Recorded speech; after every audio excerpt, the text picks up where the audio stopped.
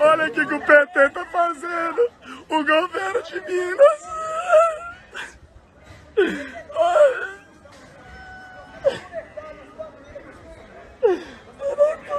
É, o que você fez, tá feio. Deus é justo. Deus é justo. Deus é justo. Deus é justo. Eu não tô acreditando. Deus é justo, Eda. Deixa esses miseráveis. Você tem filho. Você tem filho. Essa lixa Lixo, tem lixo. É isso que você fala no. Minas Gerais está corrompida! Minas Gerais está corrompida! Olha isso!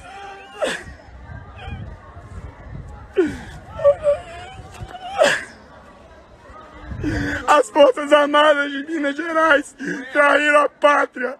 Eles traíram a pátria! Eles estão corrompidos! Não ajudaram a pátria! Vai faltar! Eles não conseguiram ajudar a pátria! Olha lá! Não acredito! Vocês vão pagar tudo que vocês fizeram com Deus! Vocês vão comer um pouco de água maçã! Vocês vão pagar tudo com Deus! Vocês traíram a pátria! Vocês traíram a pátria! Eu não estou acreditando nisso! Eu não estou acreditando! Eu não estou acreditando que vocês fizeram isso com a pátria! A gente confiou em você! A gente confiou em você! Eu não estou acreditando que vocês deixaram! Estão corrompidos! O diabo vai pegar tudo, tudo! Vocês estão achando que é brincadeira! Vocês ver! Eu não tô acreditando nisso, não! Eu não tô acreditando! Vocês vão pagar também caro por que vocês fizeram! Tá? Todos vocês vão pagar caro! Todos vocês, seus cambadas de covarde! Vão passar fome, tá? Vão passar fome! Vocês vão passar fome! Pode rir! Aquele caminhão é de vocês também? Vou pedir pra ele tirar. Ele tá na rota Pronto. tá indo embora. Aí vocês podem fazer o seguinte, vocês podem balizar a, a subida e a descida, né, para os carros não, não, não estão passando, e aí vocês podem tirar as viaturas dali de vocês para poderem continuar a, a operação, de forma que essa área militar aqui que está na nossa rotatória, tá?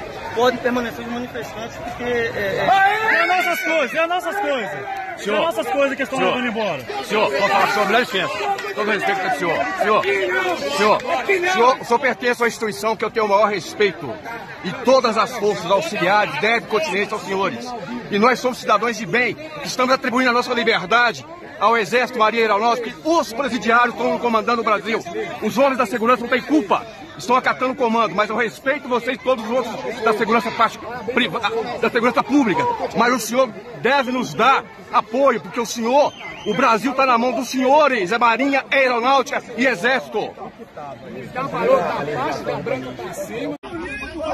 vocês, as suas famílias.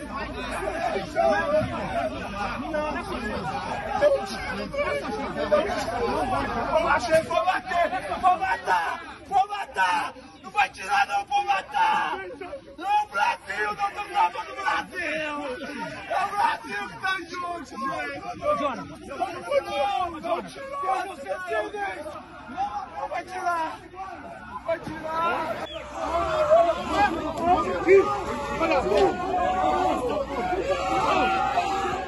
Não! Não! Não! Não, por favor, não! Não deixe, não! Não!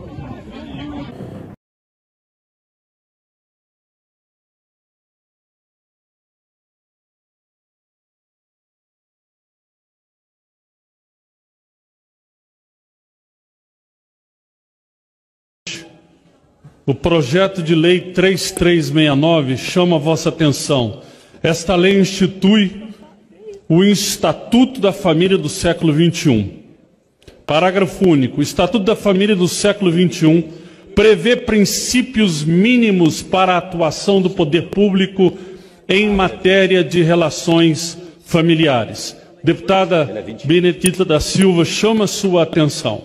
Artigo 2. São reconhecidas como famílias de todas as formas de união entre duas ou mais pessoas, para este fim se constituam e que se baseiem no amor, na socioafetividade, independe, independentemente de consanguinidade, gênero, orientação sexual, nacionalidade, credo ou raça, incluindo o deputado Milton, pasme, seus filhos ou pessoas que assim sejam consideradas. Senhoras deputadas, senhores deputados, vocês querem que eu diga para vocês o que isso significa?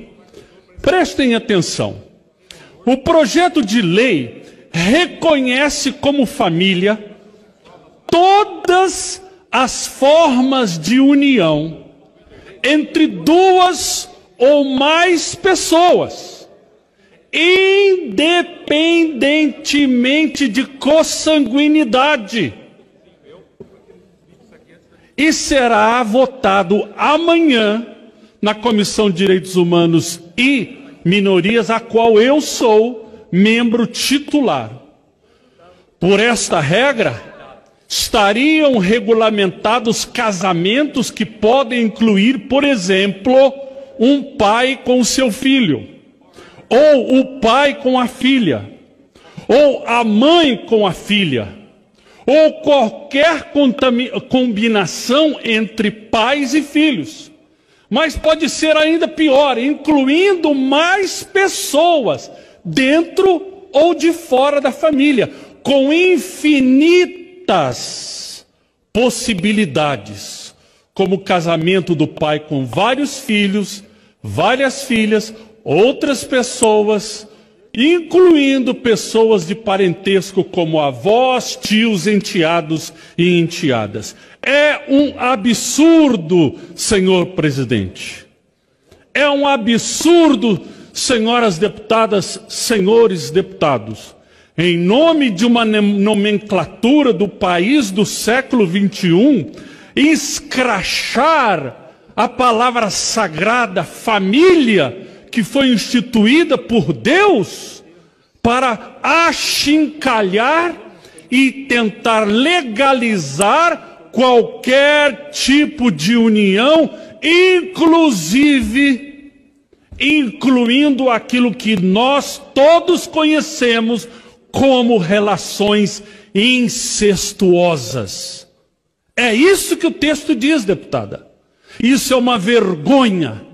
Isso não deveria nem ser pautado, porque, em sendo pautado, não são seres humanos que estarão discutindo do assunto, mas bestas, animais. E digo mais: o ser humano, em sua história, deputada Soraya, tem partido do bestial para o besta, num estralar de dedos. Fica o meu protesto, fica aqui a minha insatisfação.